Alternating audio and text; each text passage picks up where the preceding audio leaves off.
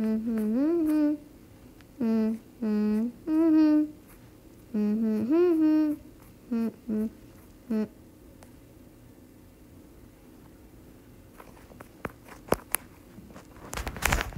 winner of my 3K edit comp.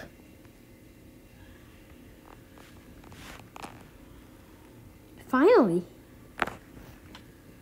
I found her on the recommended, not on shorts or search. Finally.